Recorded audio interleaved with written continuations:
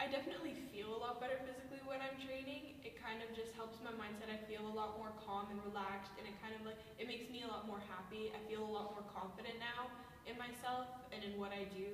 I kind of, uh, my anxiety went a lot, like I have a lot less anxiety now. It's just kind of like created a safe place for me when I'm training and it's just comfortable.